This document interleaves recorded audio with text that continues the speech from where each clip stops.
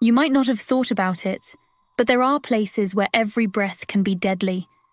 In these 17 locations with the worst air quality, the level of particulate matter PM25 far exceeds the standards set by the World Health Organization.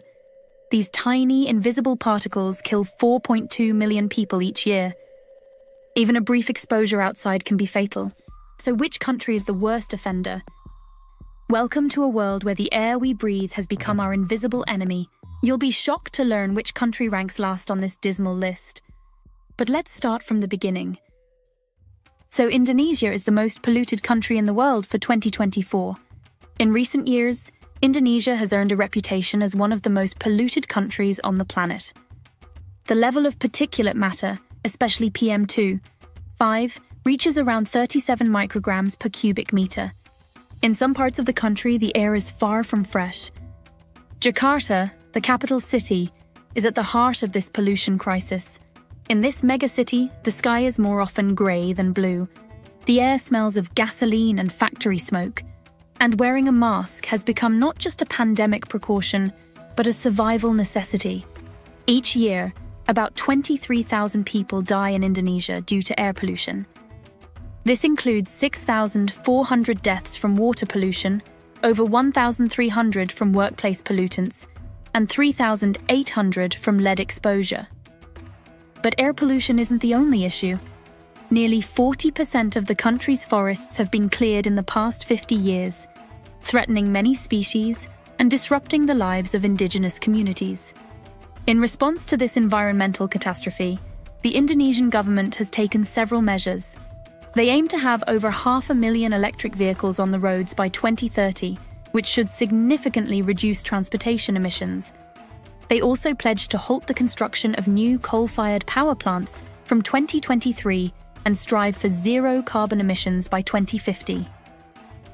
However, within 100 kilometres of Jakarta, 10 coal fired power plants are still operating, emitting harmful substances into the air transitioning to clean energy is a step in the right direction. But it's clear that much more needs to be done to protect public health and the environment. Do you think Indonesia can truly overcome these environmental challenges? Or is the government's effort not enough to change the situation? Share your thoughts in the comments below. We'd love to hear what you think. Did you know that Qatar, although famous for its wealth, is also one of the most polluted countries in the world? The PM2, 5 level here reaches 37.6, which is a serious issue, but that's just the tip of the iceberg.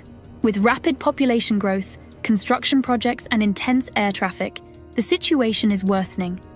During the 2022 FIFA World Cup, Qatar Airways alone operated about 60 flights a day, accounting for 52% of the event's emissions. However, Qatar is taking steps to improve its environmental footprint the country has committed to reducing emissions by 25% by 2030 and recently launched a solar power plant that can meet up to 10% of its clean energy needs. New metro systems and green zones have also been introduced. Let's move on to Bahrain, which has ranked high on the list of the most polluted countries in 2024. In 2018, the PM25 level here reached 60 micrograms per cubic meter. To put this into perspective, it's six times the safe limit set by the World Health Organization, which is 10 micrograms per cubic meter. Although pollution levels decreased slightly in subsequent years to just under 40 micrograms per cubic meter, this progress was short lived. In 2022, the PM25 level sharply increased again, reaching over 66 micrograms per cubic meter. And in 2023, it slightly decreased to around 39 micrograms per cubic meter. These fluctuations are largely tied to Bahrain's rapidly growing energy sector, which heavily relies on fossil fuels, as well as industrial emissions and dust. Now, Bahrain faces a challenge. Can it balance its economic ambitions with the need for environmental sustainability? This is a question that this wealthy nation must address, as it grapples with pollution issues similar to those faced by other countries actively developing their economies. China, despite its economic success, also faces serious environmental challenges. In 2023, the PM25 level here rose to 32.5 micrograms per cubic meter. The problem lies in China's rapid industrial growth. In some cities like Beijing, air pollution is as dangerous as smoking two packs of cigarettes a day. Although China aims to peak carbon emissions by 2030 and achieve carbon neutrality by 2060, the increase in new coal fired power plants threatens these goals. As a result, China remains the largest source of greenhouse gas emissions in the world. India, in its efforts to keep up with China, also suffers from the dire consequences of rapid industrial growth. As a result of this race, it has some of the highest air pollution levels in the world. In 2023, the PM25 level reached 54.4 micrograms per cubic meter. Air pollution has become a major cause of premature death claiming the lives of around 2 million people each year.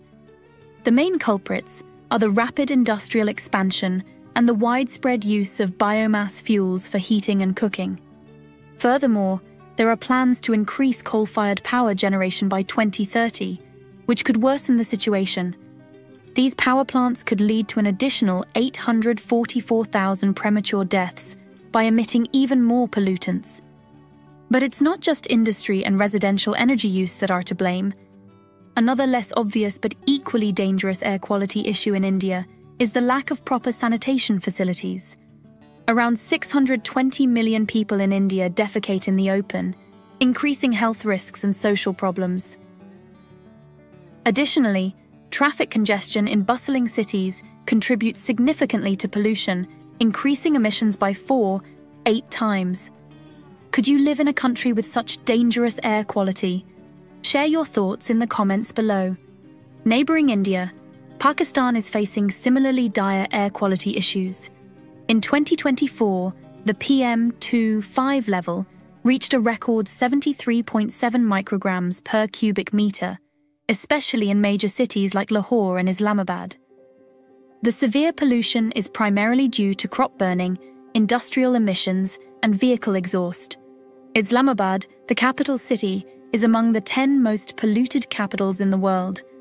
According to the latest statistics for 2024, air pollution claims nearly 12,000 lives in Pakistan each year. But the problem isn't limited to the air. Water pollution also plays a tragic role. Contaminated water sources fuel deadly outbreaks of diseases such as cholera and typhoid. The health consequences are horrifying ranging from respiratory issues to cardiovascular diseases and even cancer. In Pakistan, women are particularly affected by air and water pollution. Their traditional roles in household chores, such as cooking and cleaning, increase their exposure to pollutants. For pregnant women, high levels of air pollution can lead to premature births and babies with health issues and developmental problems. And what about economically developed countries? Yes, I'm talking about the United Arab Emirates. You might think the situation here would be decidedly better, but that's not the case. Although the UAE is known for its glittering skyscrapers and luxury cars, a serious air pollution problem lurks behind this facade. In 2024, the country ranked among the top 10 most polluted. The PM2, 5 level here rose to 43 micrograms per cubic meter, well above the safe limit set by the World Health Organization. This leads to nearly 1,900 deaths per year, including among migrant workers toiling outdoors under the scorching desert sun. The primary cause of air pollution in the UAE is the country's reliance on fossil fuels. Despite its futuristic ambitions and promises to improve environmental conditions, the expansion of oil and gas extraction raises doubts about the sincerity of these intentions. Women, despite their advances in education and the workforce, also face the consequences of pollution. Studies show that air pollution negatively impacts women's health, especially pregnant women, endangering the health of future generations. Do you think the UAE's efforts to combat air pollution are genuine, or is it just for show? Meanwhile, in the heart of Egypt, air pollution is having a devastating impact on the health and well being of millions. According to the Egyptian Ministry of Health, the PM25 level has reached an alarming 42.4 micrograms per cubic meter. Every year, Up to 2 million Egyptians seek medical help for respiratory illnesses related to air pollution. In 2019, this pollution was responsible for the premature death of approximately 9,559 people. Economic costs related to healthcare from pollution in Greater Cairo have reached $15 billion annually. The government is taking steps to reduce pollution, such as regulating emissions and encouraging the use of clean fuels, but it's not enough. According to a World Bank report, Egypt's air pollution control policies are fragmented and lack a comprehensive strategy. Ironically, while Egypt strives to combat climate change, it is cutting down significant numbers of trees for infrastructure projects, such as road extensions and canal constructions, which worsens the problem. In Iraq, the situation is even more critical. In 2022, the PM2.5 level reached 80 micrograms per cubic meter, far exceeding global standards. Despite some improvement in 2023, the level remains dangerously high at 43.8 micrograms per cubic meter, significantly surpassing the recommended limit.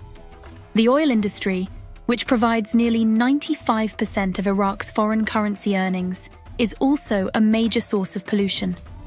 Methane flaring and other emissions are harming health, leading to increased rates of cancer and cardiovascular diseases. Military conflicts have only worsened the situation, leaving behind hazardous chemical waste.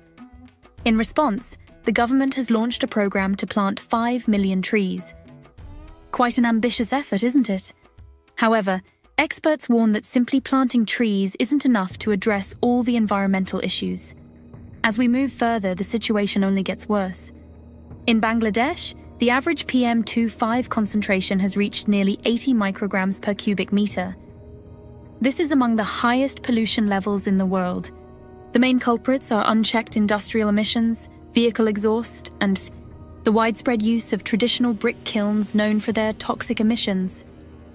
According to the World Bank, air pollution, unsafe water, poor sanitation and hygiene, and lead exposure cause over 272,000 premature deaths and 5.2 billion days of illness annually. Exposure to air pollution reduces life expectancy by seven years, making it more harmful than smoking or malnutrition. Despite economic growth and increasing incomes, the environment continues to pay a high price. Nepal, a land of ancient culture and spirituality, is now shrouded in thick layers of dust, smog, and pollution. In Kathmandu, Nepal, the PM2, 5 level exceeds 42 micrograms per cubic meter, the valley's geographical features, surrounded by mountains, trap pollutants, creating an atmosphere of toxic air with limited circulation.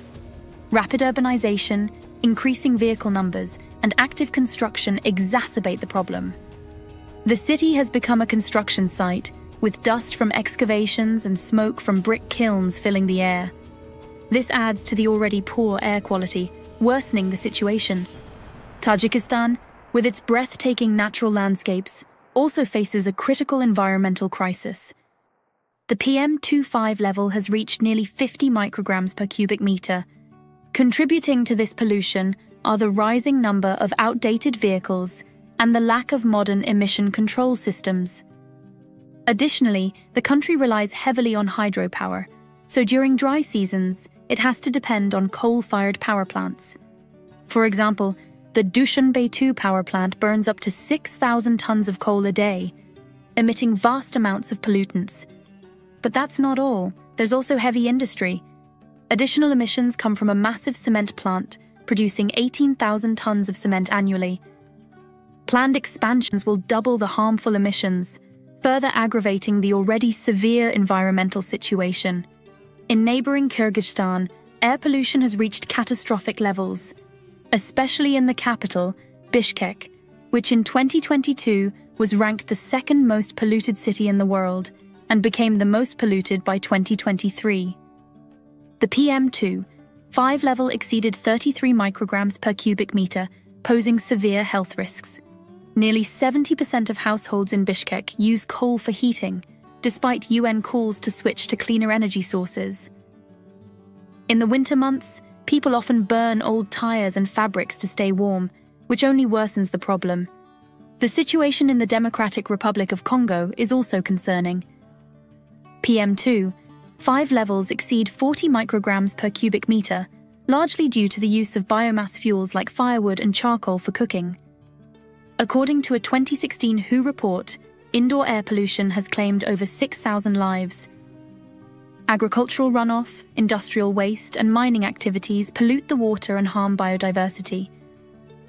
Deforestation and soil erosion exacerbate the situation, leading to increased sediment in water bodies and creating conditions for mosquito breeding, which heightens the risk of malaria. Although the Environmental Protection Act was enacted in 2011, its enforcement is hampered by the aftermath of prolonged conflicts. The UN estimates that Congo needs $200 million to address environmental crises and achieve sustainable development, an amount the country cannot afford. In Burkina Faso, located in West Africa, the situation is no better. In 2024, the PM25 concentration reached 46.6 micrograms per cubic meter. Over the past decade, the population of Ouagadougou has surged from just under 2 million to over 3.4 million, a 81% increase. This population growth puts significant pressure on the city's infrastructure, which cannot keep up with the increased demands. About 80% of households still use wood and charcoal for cooking, leading to harmful emissions. The aging vehicle fleet, averaging 14 years old, adds to the problem. Three quarters of vehicles are older models that contribute to air pollution. Additionally, the rapid and unplanned expansion of the city has led to the growth of informal settlements, where paved roads are rare. During the dry season, dust from unpaved roads creates a dense, dusty haze over the city. Respiratory infections have become a leading cause of death in the country, responsible for 20% of all deaths the poorest people often live in the most polluted areas, near industrial zones and noisy roads. However, the issues of air pollution and waste have not spared even those places typically considered paradises. The Maldives, a paradise on earth with white sandy beaches and crystal clear waters that attract millions of tourists each year, has a less pleasant side behind its beauty. In 2023, the average PM25 concentration in the Maldives was three times the norm. While this isn't the worst figure on our list, it's worth mentioning. The Maldives is struggling with a massive waste problem. Approximately 400,000 locals and a million tourists generate a huge amount of waste annually, creating a serious environmental issue. Back in the 1990s, the authorities decided to set up a landfill on the uninhabited island of Thilafushi, which seemed like a quick fix at the time. But over time, the island became a massive dump, receiving about 330 tons of waste daily. This severely damaged the environment, coral reefs and fish were destroyed. In recent years, authorities have begun sorting and recycling waste in India, and since 2011, new waste has been banned from the island. But has this solved all the problems? Today, Thilafushi has become a major commercial hub with a port and warehouses generating revenue. However, it remains the Maldives' dirtiest secret, and complete waste removal is still a distant goal. The most polluted island in the world is Henderson Island. This remote island in the Pacific Ocean has been part of the British overseas territory of Pitcairn since 1902, thus belonging to Britain but not part of it. It is considered the dirtiest place on Earth Despite never being inhabited, its white sandy beaches have become home to over 37 million pieces of trash. The island is known for its unique flora and fauna, including rare plant and animal species, and was designated a UNESCO World Heritage Site in 1988. However, ocean currents bring plastic waste that severely damages the ecosystem. Birds and other animals ingest small plastic items, leading to their deaths. Henderson Island is a grim reminder of how we've managed to pollute such a remote, inaccessible, and isolated part of the Earth. It's a stark reminder of how our oceans have become dumping grounds for our consumption. If you enjoyed today's video, don't forget to like and subscribe to our channel. Your support is crucial to us. Click on the video that's appeared on the screen to discover more fascinating content. Leave your thoughts in the comments, give a thumbs up, and subscribe so you don't miss any new videos. See you soon!